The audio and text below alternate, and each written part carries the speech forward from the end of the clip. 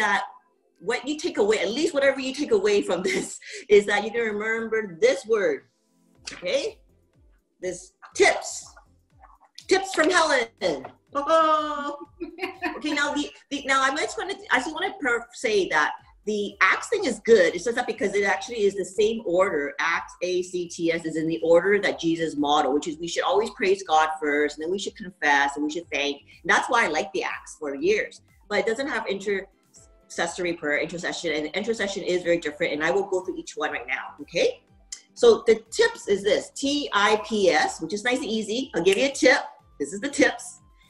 T is Thanksgiving, right? So Thanksgiving is we should always be Thanksgiving. This includes our praise, our adoration, our worship for the Lord, right? The first thing we should do is, Lord, we, we just praise you and we honor you. And that's the first thing in our heart. Before we ask for anything, we should say thanks. And then this is I, this is the intercession, okay? Now, intercessory, the word is basically when you're interceding with someone, we are doing something on behalf so you are praying on behalf of someone. So if someone asks me to pray for them, I am praying on behalf of them. Just like when Jesus was praying on behalf of us to the Father. He was interceding. Jesus Christ is the the only and the greatest perfect priesthood when he came down as a human, right? He's the perfect priest and he is our mediator. So he intercedes on our behalf.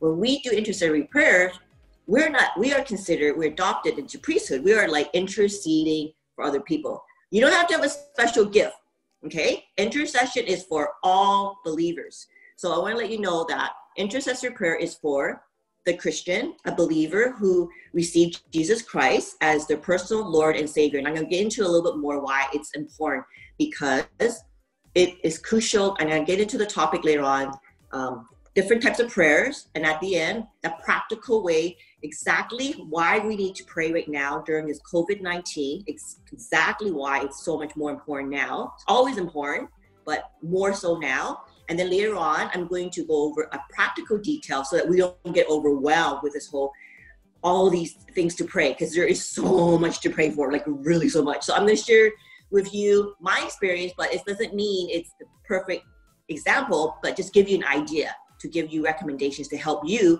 build your own. Okay? Got it? So, all right. The P now stands for penitent. Penitent is, okay, that's a fancy word, but I need to put that in, right? Penitent is basically like we're feeling remorse. It's not just confession, it's deeper than confession. We are actually repenting. We ask God that we're so sorry, like we need to apologize to God. Okay, the penitent is penitent prayers. And this is really, really important because as I get into but later on, is in order for us to have effective prayer, we need to be holy and righteous before God. Now, we know that none of us are holy and none of us is righteous. But because of the cross, Easter, we just finished Easter, Christ died for us and he exchanged our sins and he gave us his righteousness on us so that we can now have the power and authority to pray in his name. So that's very different. And when it's just like the COVID, and I'm thinking, I'm going to get into it now you know, right now they're asking us to wash our hands on our soap as soon as you get outside and you do your groceries, right? You got to put your mask on, you got to wash your hand immediately because you just catch germs, right? So it's the same thing.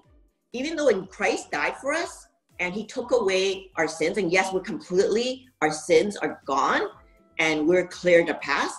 But if we go every day in a fallen world, because we're not perfect yet, we kind of like catch like the sins of the world, like you know germs, and we don't we can't see it unintentionally or intentionally. We don't know that we're sinning every day. So it's really important we come home and at nighttime we actually ask the Lord, you know, Lord, I don't know. Will you tell me if I did anything wrong today? Please let me know, and I want to confess that to you. And, and if it is, reveal it and give us space your time to pray and just wait silently, listen, and God will tell you through the Holy Spirit, which I'll get into later again, and we will confess that and remove it. And it's really important because we want a clear, good relationship with God. And again, I'll get into it later on when we talk about when we pray, we must always be in a right relationship with God in any of these. Thanksgiving, intercessory, penitence, and S is supplication. What is supplication? Supplication is basically we do ask for prayers too, but it is actually for ourselves. Okay, so that's the big difference. So I want to say I is actually opposite. I is intercessory. I pray for others. Intercessory. I pray for others. S is for us. It's special for us. Supplication is for ourselves.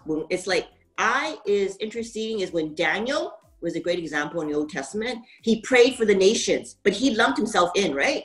We are far away from you, Lord. We need you. Save us, have mercy. We are interceding for the rest of the nation. We include ourselves, interceding for the, everyone. We're praying on behalf of everyone.